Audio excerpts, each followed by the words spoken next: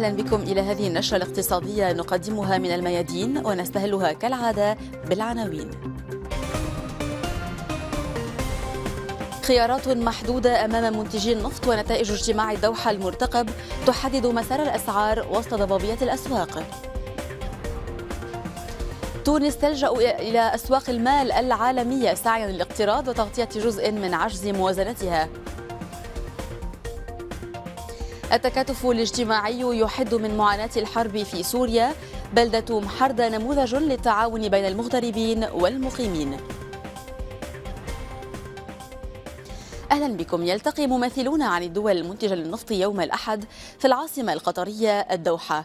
كل يحمل ملفات ورؤى مختلفة عن آلية يؤمل منها تحقيق الاستقرار في أسواق النفط العالمية ودفع الأسعار صعودا بما يدر مداخيل عامة تحد من عجز الموازنات الحكومية للدول المصدرة فما هي الخيارات المتاحة أمام اجتماع الدوحة؟ حسن يوسف ثلاثة خيارات متاحة أمام منتجي النفط في اجتماعهم المتوقع انعقاده في الدوحة لكل منها مفاعيله في الأسواق العالمية.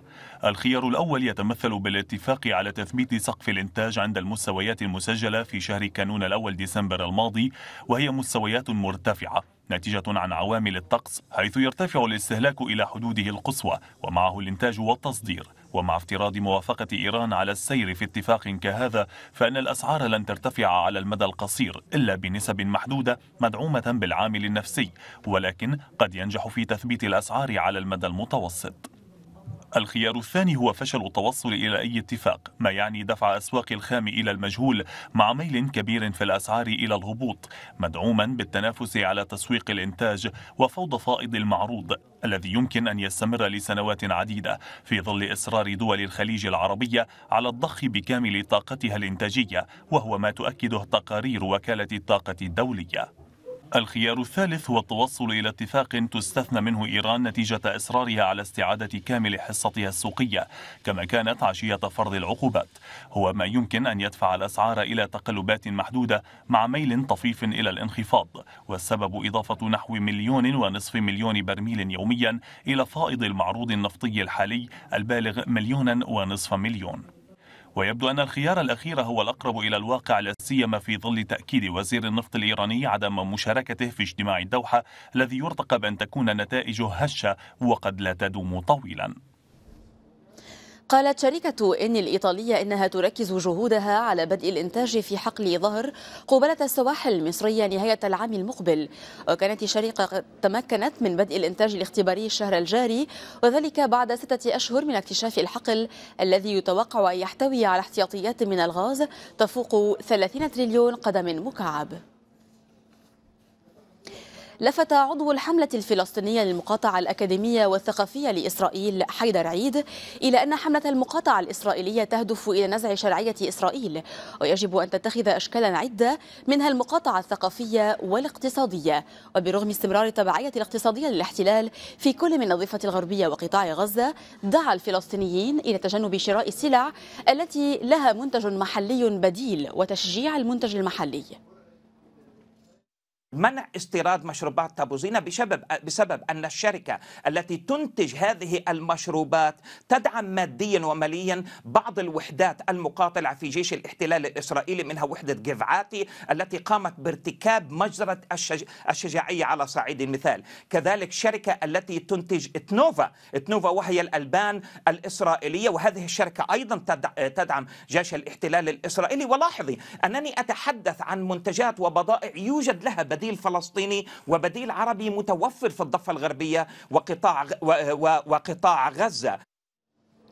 تتابعون هذا الحوار كاملا يوم السبت في تمام الخامسة والنصف مساء بتوقيت القدس الشريف والآن إلى تونس التي تتجه لإصدار سندات بقيمة مليار يورو سعيا لتغطية جزء من عجز موازنتها. ويتوقع أن تقوم الحكومة بالتفاوض مع مستثمرين في عواصم أوروبية عدة. وتواجه تونس صعوبات مع تراجع إيراداتها من السياحة بعد تعرضها لهجمات إرهابية واندلاع احتجاجات بسبب البطالة. منعت السلطات المغربية نحو عشرين شخصا من التظاهر في الدار البيضاء وأتلفت لافتات رفعوها احتجاجا على نهب الأموال العامة. هذه المجموعة من الشباب المغربي كانت قد أطلقت صفحة على موقع التواصل الاجتماعي فيسبوك دعت فيها إلى محاسبة المتورطين بسرقة الأموال العامة ولا سيما بعدما ورد اسم الكاتب الخاص الذي يدير ثروة الملك محمد السادس محمد منير الماجدي في تسريبات وثائق بنما. تتميز مدينة محردة شمال حماة بالدعم الكبير الذي يقدمه أبناؤها المغتربون حيث تتنوع المساعدات العامة المقدمة بين مادية وإنسانية بهدف تخفيف أثر الحرب وإعانة الأسر التي فقدت أبنائها على الخروج من محنتها. سائر أسليم.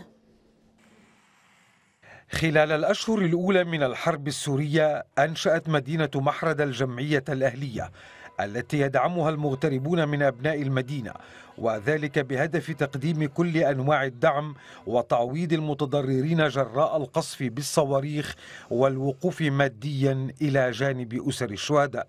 كان يجينا تبرعات من الاغتراب بشكل جيد وكان يجينا تبرعات كمان سخية سخية جدا من الداخل عندنا هون في محردي. اللجنة الأهلية تتألف من عدة مجموعات تتقاسم المهام فيما بينها وذلك لتقديم المساعدة على المستوى الصحي للجرحى وعلى مستوى التعويض المالي للمواطنين الذين تضررت منازلهم. عمل اللجنة نحن بنوقف مع المصاب وبيتم متابعة أمور علاجه بالكامل بحيث أنه المصاب ما يتكلف آه، ولا ليرة سورية وقدمت اللجنة الأهلية الإعانات الطبية لنحو 1800 جريح كما تم تقديم الإعانة المالية لأكثر من 900 من أصحاب المنازل المتضررة وذلك بعد تقييم حجم الضرر وتقديم إعانة مالية تقدر في المئة من قيمتها. أه، تقوم اللجنة الأهلية أه، من خلال فريق المهندسين أه، التابع لها بزيارة مكان الإصابة بشكل فوري تقرير أو لتحديد مدى الإصابة في المنزل. هذه المساعدات لا تهدف إلى الحلول مكان دور الدولة بل تعتبر مكملة وتعبر عن التضامن الأهلي بين المواطنين ريثما تتمكن الحكومة من إحصاء الأضرار وتوفير الدعم الملائم للسكان. ارتفع معدل البطالة في تركيا إلى 11% وذلك في الفترة ما بين كانون الأول ديسمبر وشباط فبراير. وعند استثناء القطاع الزراعي ترتفع البطالة عن 13% وذلك بسبب تأثير قطاع الخدمات أو تأثر قطاع الخدمات بالأوضاع الأمنية والسياسية في البلاد. في فرنسا اعتقلت الشرطة عشرات المتظاهرين ضد قانون العمل الجديد وكانت مدن عدة من ضمنها العاصمة باريس قد شهدت تظاهرات متفرقة. ويواصل اتحاد النقابات العمالية في فرنسا بالتحالف مع النقابات الطلابية الحركات الاحتجاجية الهادفة إلى إلغاء التعديلات القانونية التي نصت على الزيادة في عدد ساعات العمل وسمحت بفصل العمال وخفض الرواتب.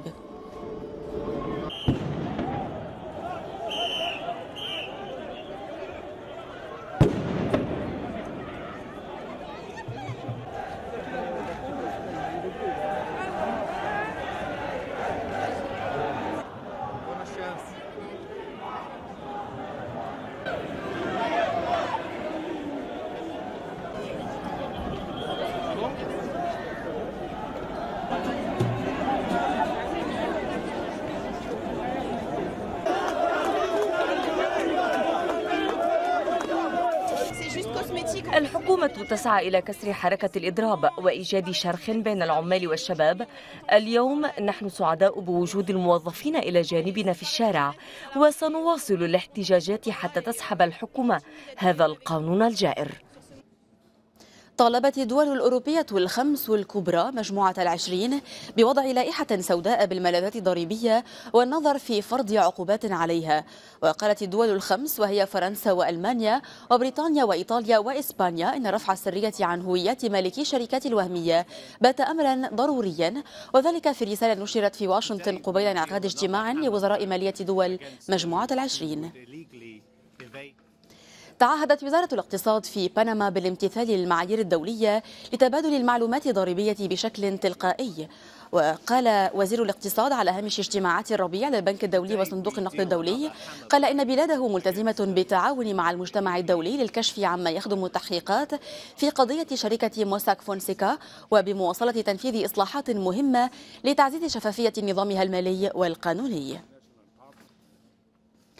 شركات أبل وول مارت وجنرال إلكتريك ضمن أكبر 50 شركة أمريكية قامت بإيداع 1400 مليار دولار في مليار دولار في الجنات الضريبية منذ ما بعد الأزمة المالية حتى عام 2014 بهدف خفض ضرائبها وذلك وفق منظمة أوكسفام.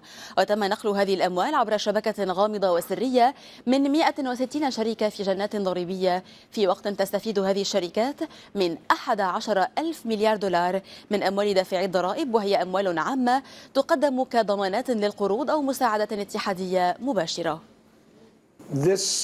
هذا النظام بات غير عادل ويكبد الطبقات الوسطى والفقراء الجزء الأكبر من الضرائب. المبالغ الهائلة التي راكمتها هذه الشركات الكبرى في الجنات الضريبية كان يجب أن تستخدم في محاربة الفقر وإعادة إعمار بنى تحتية في أمريكا وليس أن تخفى في مراكز أوفشور كبنما والباهاماز وجزر كيمان بهذا نختم النشرة الاقتصادية وللمزيد زوروا موقعنا الميادين دوت نت باللغتين العربية والإسبانية. نشكر لكم حسن المتابعة وإلى اللقاء.